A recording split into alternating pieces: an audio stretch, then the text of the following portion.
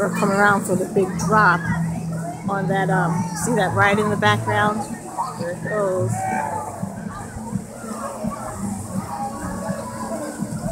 See how big uh, splash they come through. She's standing behind the pole.